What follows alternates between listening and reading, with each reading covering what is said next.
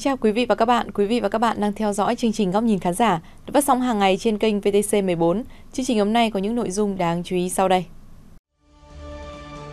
Ngã ba rất nguy hiểm đã xảy ra rất nhiều vụ tai nạn giao thông chết người, xuất hiện nhiều năm trên quốc lộ 1A, đoạn qua địa bàn xã Vĩnh Lương, thành phố Nha Trang, tỉnh Khánh Hòa.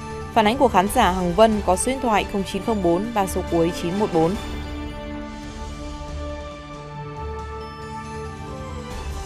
Đồng Tháp xuất hiện nhiều điểm sạt lở, địa phương tích cực triển khai các phương án phòng chống.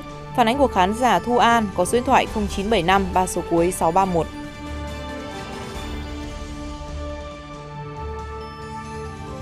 Đoàn thanh niên xã Kỳ Nam, thị xã Kỳ Anh, tỉnh Hà Tĩnh tổ chức chương trình rửa xe gây quỹ giúp trẻ em vui Tết Trung thu.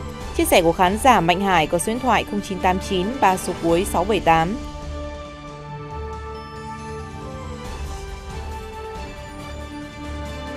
Chùa Tăng Phúc Tự ở xã Tiên Hào, huyện Vụ Bản, tỉnh Nam Định đem Trung thu đến sớm cho hàng chục em nhỏ mồ côi. Chia sẻ của khán giả Minh Vụ có số điện thoại 0912 3 số cuối 950.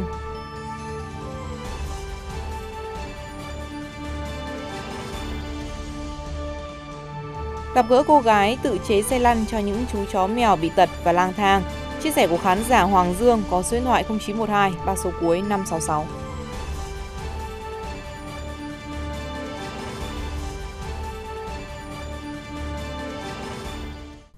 Thưa quý vị, từ nhiều năm nay, nhất là sau khi quốc lộ 1A được nâng cấp mở rộng trên địa bàn xã Vĩnh Lương, thành phố Nha Trang, tỉnh Khánh Hòa, có một ngã ba rất nguy hiểm đã xảy ra rất nhiều vụ tai nạn giao thông chết người.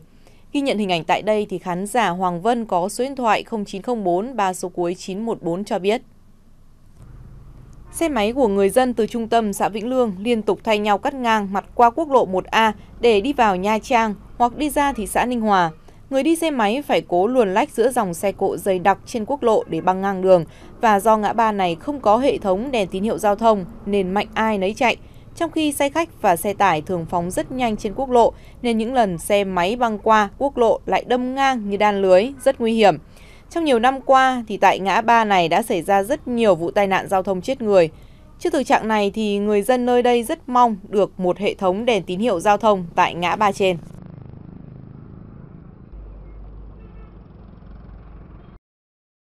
Còn tại Thái Nguyên, tuyến đường nối giữa hai xóm Đanh và Tơm nằm trên trục đường liên xã Thành Công, thị xã Phổ Yên đã xuống cấp nhiều năm nay, khiến việc đi lại của người dân hết sức vất vả. Theo phản ánh của khán giả Nguyễn Văn Tùng có số điện thoại 0334 3 số cuối 637 thì mặt đường xuất hiện nhiều ổ voi, ổ gà kích thước lớn gây mất an toàn giao thông cho phương tiện và ảnh hưởng trực tiếp đến đời sống sinh hoạt của người dân. Những ngày mưa, con đường trở nên lầy lội, hai bên ứ động bùn đất, nước động thành vũng, trở thành cái bẫy đặc biệt nguy hiểm đối với người tham gia giao thông.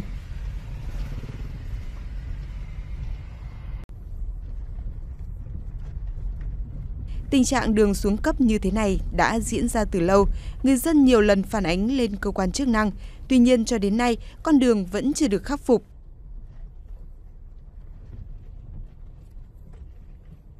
Nguyên nhân dẫn đến sự xuống cấp là do tình trạng xe quá tải chở vật liệu qua lại, quân thảo ngày đêm, trong khi nhiều năm qua đường không được tu sửa nâng cấp. Mặt khác, đây là tuyến chính nối từ các xóm lên trung tâm huyện Phổ Yên nên lưu lượng phương tiện qua lại đông đúc. Chính vì thế, điệp khúc nắng bụi mù mịt, mưa lầy lội liên tiếp tái diễn khiến người dân địa phương vô cùng khổ sở. Còn vào mùa mưa, ngoài tình trạng mặt đường lầy lội, trơn trượt, có đoạn xuất hiện nhiều hố nước lớn ngay giữa lòng đường rộng cả vài mét vuông, sâu mấy chục cm.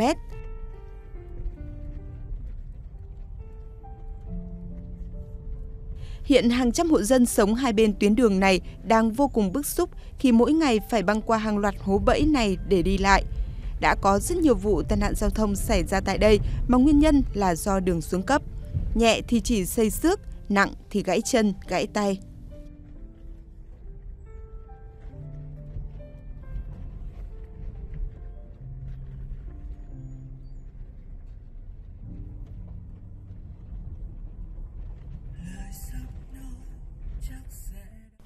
Điều mà hầu hết các bậc phụ huynh học sinh lo ngại, nhất là vào giờ tan học, các em học sinh phải đi qua những đoạn đường đang xuống cấp rất nguy hiểm, lại phải đối diện với nhiều xe tải, xe khách đề nghị xã Thành Công sớm có hướng giải quyết khắc phục, cải tạo con đường này triệt đề và để đảm bảo nhu cầu đi lại của người dân cũng như thúc đẩy cho phát triển kinh tế xã hội xã miền núi Thành Công hiện còn nhiều khó khăn. Thưa quý vị, trong khi đó thì trên tuyến đường quốc lộ 14 từ tỉnh Gia Lai đi Đắk Lắk, đoạn qua thôn Khora, xã Iarong, huyện Chư Pưng, tỉnh Gia Lai, Ban an toàn giao thông huyện Chư Pưng đã lắp đặt một tấm biển báo giao thông. Tuy nhiên thì theo phản ánh của khán giả Phan Mạnh Phàn có số điện thoại 0982 ba số cuối 113 thì biển báo này đã bị cây xanh che khuất.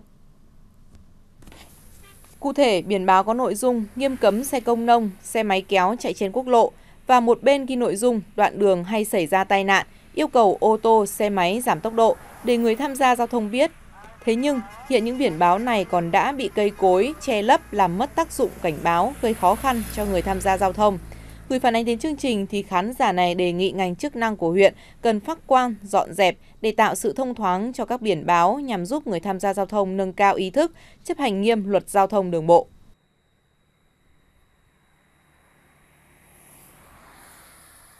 Chuyển sang một số thông tin đáng chú ý khác.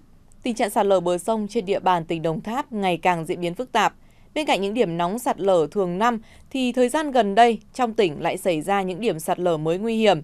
Theo tìm hiểu của khán giả Thu An có số điện thoại 0975 ba số cuối 631 thì để ứng phó với sạt lở, nhất là thời điểm mưa lũ thì chính quyền các địa phương cần tích cực triển khai các phương án 4 tại chỗ và yêu cầu 3 sẵn sàng để hạn chế thấp nhất thiệt hại do sạt lở gây ra.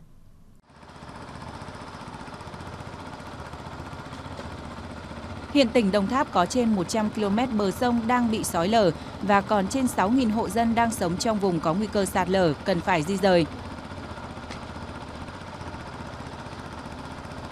Những năm gần đây, số điểm sạt lở có dấu hiệu tăng, vành đai sạt lở mở rộng.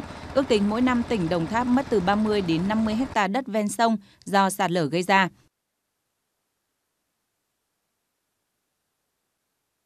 Vào giữa tháng 9 năm 2020 vừa qua, 165 mét vuông đất là mái ta luy của tuyến đường huyết mạch liên xã biên giới, Thường Lạc, Thường Thới Hậu A đã bị sạt lở cuốn trôi. Hiện mép sông đang áp sát vào tuyến đường, nhà dân chỉ còn cách bờ vực sạt lở từ 3 đến 5 mét. Tất cả đều rất trông tranh trước dòng chảy, đời sống người dân đang bị đe dọa từng ngày. Mấy năm trước không có lỡ là lỡ gốc dưới là bún nè. Lỡ trước. Mới lỡ năm nay đây à. Nước nước nhảy nhảy lỡ lỡ vào với nhau từ từ cái nó lỡ vô cái nữa là hai chập rồi đó nước lên là mới sạch ờ, còn nước giật ờ, đâu có gì đâu sóng gió rồi tàu bè nó chạy ờ, lỡ nước lên thì nguy hiểm Trước tình hình nguy cấp này, ngành chức năng địa phương cắm biển báo giảm tải, tuần tra kiểm soát, không để xảy ra ách tắc giao thông qua khu vực, đồng thời đang đề xuất tỉnh tiến hành lấn tuyến vào bên trong thi công kè mềm. Về lâu dài sẽ bàn phương án làm kè cứng để bảo vệ tuyến đường, đời sống người dân và an toàn cho hàng trăm em học sinh hai điểm trường, mầm non Thường Lạc và tiểu học Thường Lạc 2.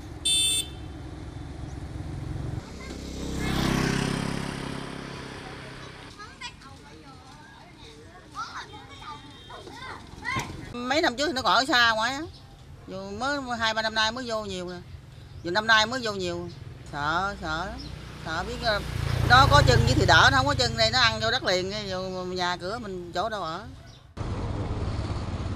Từ đầu năm đến nay, toàn tỉnh Đồng Tháp đã xảy ra hàng chục vụ sạt lở và lở dạo. Trong đó, trên địa bàn huyện Châu Thành xảy ra ít nhất 5 vụ sạt lở bờ sông. Trong đó, vụ sạt lở nghiêm trọng bờ sông Nha Mân đã nhấn chìm 7 căn nhà, hàng chục căn phải di rời khẩn cấp, gây thiệt hại tài sản nhiều tỷ đồng. Sở Nông nghiệp Phát nông thôn à, làm chủ đầu tư, thực hiện cái dự án à, đo đạt giám sát giá ổn định bờ sông Tiền và thiết lập cái hành lang sạt lở khu vực à, đông dân cư trên địa bàn tỉnh Đồng Tháp. Thì hiện nay dự án này đã cơ bản đã hoàn thành, đang trình ủy ban nhân tỉnh phê duyệt. Thì khi có kết quả phê duyệt thì sẽ triển khai cho các huyện, thị xã, thành phố về cái cái, những cái nội dung mà liên quan đến các huyện trên địa bàn của các huyện xã, thành phố như về Theo ngành chức năng tỉnh Đồng Tháp, để ứng phó với tình trạng này, tỉnh khoanh vùng sạt lở tiếp tục thi công các công trình hạ tầng thiết yếu trong 53 các cụm tuyến dân cư giai đoạn 2, 46 cụm tuyến đợt 1 và 7 cụm tuyến bổ sung để khẩn trương di rời người dân.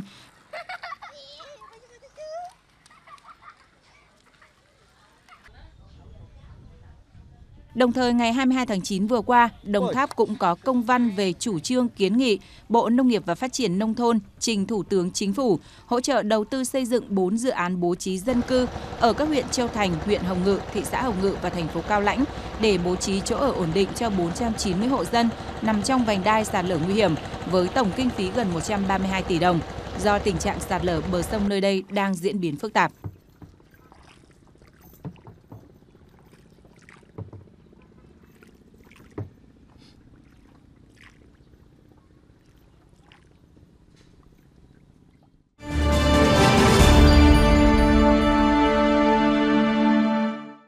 Xã Kỳ Nam, thị xã Kỳ Anh, tỉnh Hà Tĩnh là địa phương nghèo nằm dưới chân đèo ngang. Ở thị xã Kỳ Anh, tỉnh Hà Tĩnh, đời sống của bà con nhân dân chủ yếu dựa vào sản xuất nông nghiệp. Với mong muốn giúp trẻ em nghèo, trẻ em có hoàn cảnh khó khăn vui Tết Trung Thu, Đoàn Thanh niên xã đã tổ chức chương trình rửa xe gây quỹ giúp trẻ em vui Tết Trung Thu. Đây là chương trình mang ý nghĩa nhân văn đối với trẻ em trong mùa đoàn viên sắp tới. Theo khán giả Trần Mạnh Hải có số điện thoại 0989 và số cuối 678 thì việc làm của những thanh niên đã khiến cho tình thân ái càng lan tỏa, đặc biệt trong mùa vui Tết của thiếu nhi như thế này. Với mong muốn tạo một cái Tết Trung thu đầm ấm cho trẻ em nghèo, trẻ em có hoàn cảnh khó khăn, Đoàn thanh niên xã Kỳ Nam, thị xã Hà Kỳ Anh, tỉnh Hà Tĩnh đã tổ chức chương trình rửa xe gây quỹ giúp trẻ em vui Tết Trung thu. Với tinh thần trách nhiệm cao, nên dù là nghiệp dư, các thợ rửa xe mang trên mình màu áo xanh tình nguyện, luôn làm việc hết mình và chu đáo.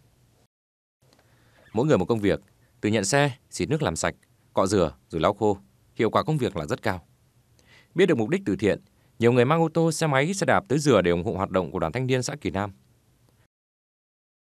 Hoạt động rửa xe được thực hiện chủ yếu vào các ngày thứ bảy, chủ nhật hàng tuần và toàn bộ số tiền thu được từ dịch vụ rửa xe được sử dụng vào mục đích hỗ trợ tổ chức các hoạt động vui Tết Trung thu, mua sắm những phần quà ý nghĩa, trao tặng cho các em thiếu nhi có hoàn cảnh khó khăn, con em các gia đình chính sách, hộ nghèo.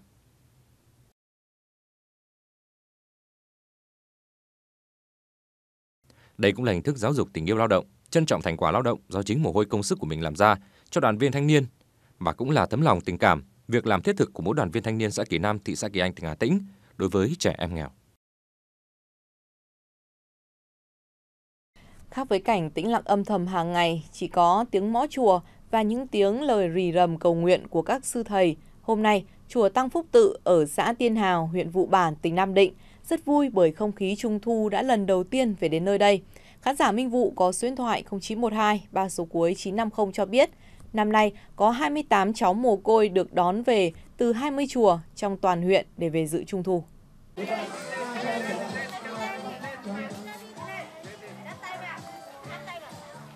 Trước khi vui chơi, các cháu được vào chính điện nhà chùa tụng kinh theo hướng dẫn của thầy trụ trì. Sau đó các cháu tỏa ra sân, vui chơi dưới những lùm cây xanh mát. Các trò chơi dân gian như kéo co, đấu tranh hay chơi oan quan được tổ chức.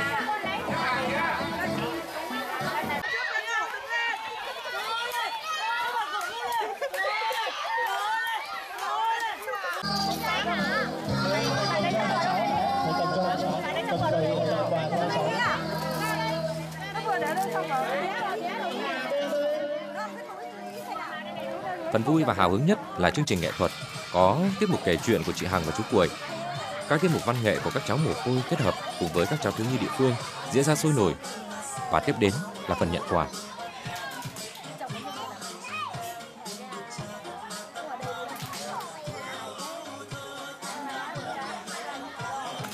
hai mươi tám cháu bé mồ côi, mỗi cháu nhận được một suất quà có trị giá một triệu 300 ngàn đồng, gồm một triệu đồng tiền mặt 300 còn lại bao gồm đồ chơi, giày dép, bánh kẹo. Nguồn kinh phí đến từ lòng hảo tâm của các mạnh thường quân. Cũng trong dịp này, tất cả các cháu đều được tiệm cắt tóc chuyên nghiệp ở địa phương đến cắt tóc miễn phí. Thầy Thích Đàm Hoài, trụ trì chùa xúc động cho biết, đây là không khí trung thu đầu tiên mà nhà chùa cùng với các cháu mồ côi được đón nhận. Trong ngôi chùa nhỏ do thầy Hoài làm trụ trì, luôn có tiếng trẻ em nuôi đùa, tiếng khóc của những em nhỏ hơn các em là những đứa trẻ kém may mắn bị bố mẹ bỏ rơi, được chính tay vị đại đức mang về nuôi dưỡng. Hy vọng đây không phải là trung thu ấm áp duy nhất mà các em mồ côi được đón nhận, mà chỉ là khởi điểm, là điểm xuất phát trong mỗi chuỗi hành trình, cuộc đời để chuyên trở niềm vui cho các em. Sự ấm tấm lòng lạnh giá của các cháu bằng tình yêu thương đùm bọc giúp các em phần nào có cảm nhận về tình cha mẹ mình trong đó.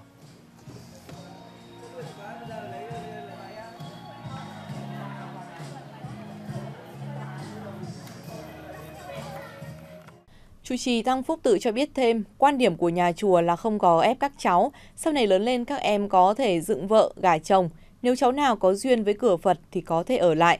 Tất cả mọi sinh hoạt nhà chùa đều cho các cháu được phát triển theo bản năng tự nhiên để có thể dễ hòa nhập với xã hội.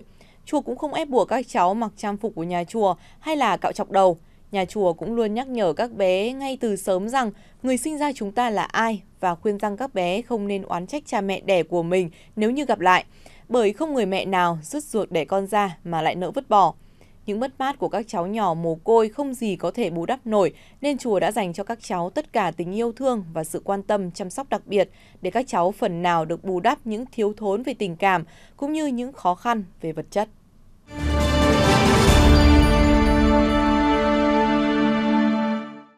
Thưa quý vị, có rất nhiều những chú thú cưng bị chủ bỏ rơi cũng bởi vì nó bị tật, khó khăn đi lại. Xót thương những tình cảnh của những con vật này, một cô gái ở thành phố Hồ Chí Minh đã tìm cách chế tạo ra những chiếc xe lăn cho chúng. Cô gái đó là Nguyễn Thị Ngọc, trú tại huyện Bình Chánh. Sau đây, mời quý vị cùng tìm hiểu về những sản phẩm của cô gái này qua chia sẻ của khán giả Hoàng Dương có số điện thoại 0912-3 số cuối 566. 6 năm qua, hơn 100 con chó mèo bị chủ bỏ rơi do tật nguyền hoặc tai nạn được chị Nguyễn Thị Ngọc cưu mang. Trong quá trình đó, chị Ngọc không chịu buông xuôi nhìn chó mèo đi lại khó khăn, nên từ những chiếc ống nước quen thuộc, chị đã chế tạo chúng thành xe lăn cho con vật. Đây là thiết bị có thể hỗ trợ việc đi lại cho chó mèo. Việc nhận nuôi chó mèo bị bại liệt xuất phát từ lòng thương vô hạn của chị với chúng. Chị Ngọc chia sẻ, ngay từ nhỏ chị đã rất thích chó mèo, nhất là những con vật tật nguyền bị bỏ rơi.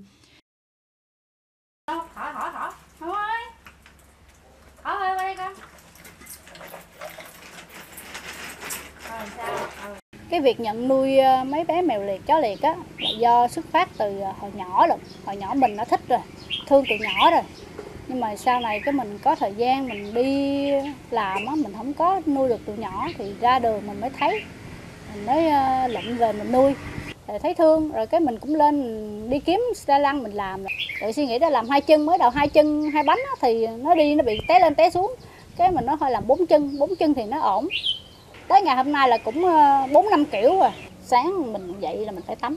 Cho lên xe lăn để mình đi để chi. Có nhiều đứa không phải là nó liệt hẳn mà mình cho nó lớp mà mình phải cho nó vận động. Không có bị bí tiểu và không bị lỡ lét. Tới phiên chiều tối, mình lại làm thêm công việc đó tiếp. Buổi sáng thì ờ, mình làm ờ, từ 5 giờ sáng cho tới 9 giờ sáng còn buổi chiều á, là từ 4 giờ cho tới 8 giờ và sau cái 8 giờ đó là mình đi cho mèo hoang ăn cho tới 11 giờ đêm về đó, bắt đầu mình phải dạo vòng chuồng coi có em nào la hét hay gì không mà mình chấn ngang rồi xong mình mới vô nhà mình ngủ Trải qua 4 năm lần thử nghiệm, mới cho ra được chiếc xe lăn như mong muốn. Thường ngày chị Ngọc tắm cho đám thú cưng, rồi cho lên xe lăn để tập đi. Hiện chị Ngọc cũng đã nghĩ đến chuyện bán thử xe lăn để giúp cho những người chủ có vật nuôi bị tật với mong muốn chủ nhân sẽ không bỏ rơi chúng.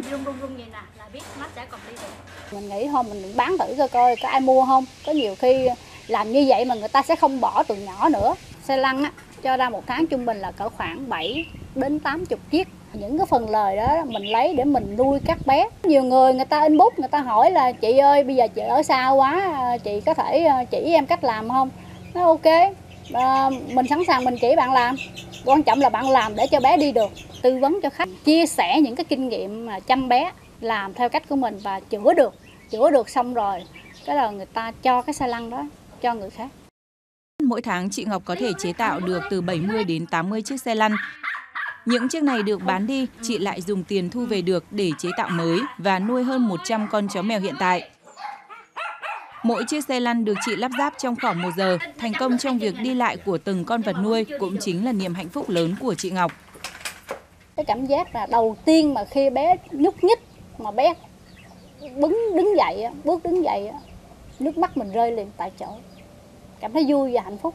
Khi liệt nó cần cái sự yêu thương và đùm bọc và chăm sóc nó. Cứ gọi cho mình, inbox cho mình, mình sẵn sàng chia sẻ hết và đừng bỏ bé.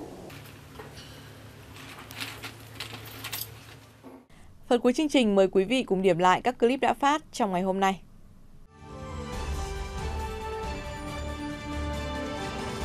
Từ nhiều năm nay, nhất là sau khi quốc lộ 1A được nâng cấp mở rộng, trên địa bàn xã Vinh Lương, thành phố Nha Trang, tỉnh Khánh Hòa có một ngã ba rất nguy hiểm, xảy ra rất nhiều vụ tai nạn giao thông chết người. Người đi xe máy phải cố luồn lách giữa dòng xe cộ dày đặc trên quốc lộ để băng ngang đường. Do ngã ba này không có hệ thống đèn tín hiệu giao thông nên mạnh ai đấy đi, trong khi xe khách và xe tải thường phóng rất nhanh trên quốc lộ, nên những lần xe máy băng qua quốc lộ lại đâm ngang như đàn lưới rất nguy hiểm. Trước tình trạng này, người dân nơi đây rất mong muốn có hệ thống đèn tín hiệu giao thông tại ngã ba này. Phản ánh của khán giả Hàng Vân số điện thoại 0904 3 số cuối 914.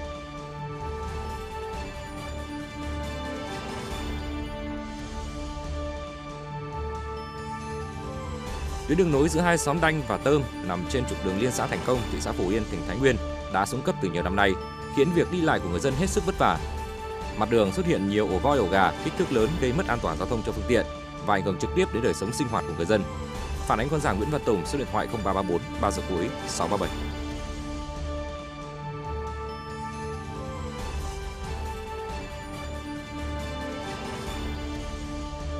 Trên tuyến đường quốc lộ 14 từ tỉnh Gia Lai đi Đắk Lắk, đoạn qua thôn Pura, xã Iarong, huyện trư brưng tỉnh Gia Lai, xuất hiện biển cảnh báo bị che lấp bởi hàng cây um tùm không phát huy tác dụng.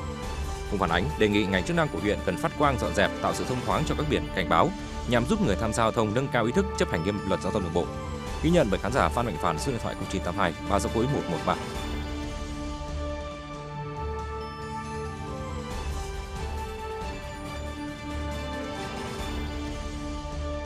Tình trạng sạt lở bờ sông trên địa bàn tỉnh Đồng Tháp ngày càng diễn biến hết sức phức tạp. Bên cạnh những điểm nóng sạt lở hàng năm, thì thời gian gần đây trong tỉnh lại xảy ra những điểm sạt lở mới nguy hiểm. Để ứng phó với sạt lở, nhất là vào thời điểm mưa lũ, chính quyền các địa phương tích cực triển khai dự án 4 tại chỗ và yêu cầu ba sẵn sàng để hạn chế thấp nhất thiệt hại do sạt lở gây ra. Phản ánh khán giả Thu An số điện thoại 0975 3 số cuối 631.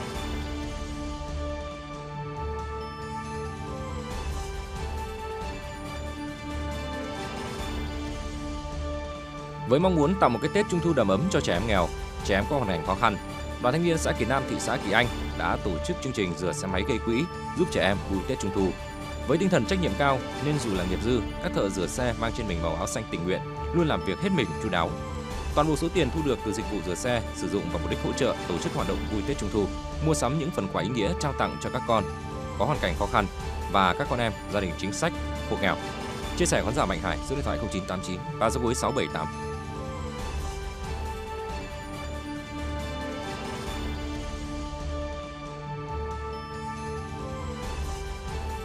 Khác với cảnh tĩnh lặng âm thầm hàng ngày chỉ có tiếng mõ chùa và những lời dì dầm cầu nguyện của các thầy, hôm nay chùa Tăng Phúc Tự ở xã Thiên Hào, huyện Vụ Bản, tỉnh Nam Định rất vui bởi không khí trung thu đã lần đầu tiên về đến nơi này. 28 cháu bé mồ côi được đón về từ 20 chùa trong toàn huyện về dự trung thu. Mỗi cháu được nhận một suất quà có giá trị 1 triệu 300 ngàn đồng, gồm 1 triệu tiền mặt. Theo đó thì đồ chơi giày dép và bánh kẹo do lòng hảo tâm của các mạnh thường quân ủng hộ. Và cũng trong buổi trung thu này, tất cả các cháu được cắt tóc chuyên nghiệp ở địa phương và miễn phí. Chia sẻ khán giả Minh Vụ số điện thoại 0912 và số cuối 950.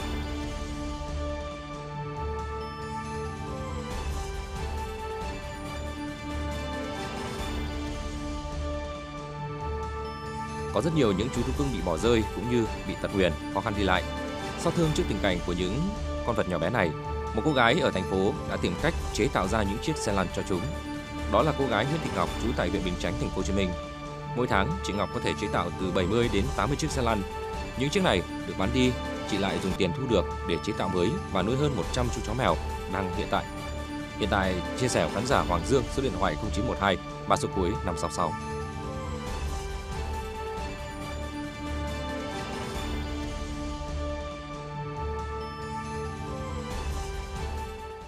Chương trình góc nhìn khán giả ngày hôm nay của chúng tôi cũng xin phép được khép lại tại đây. Nếu có thông tin, hình ảnh cần chia sẻ, quý vị khán giả có thể gửi đến địa chỉ email góc nhìn khán giả a vtc.gov.vn hoặc cũng có thể gọi điện đến số điện thoại liên lạc của chương trình là 0904 88 1414. Xin kính chào tạm biệt và hẹn gặp lại trong những chương trình tiếp theo.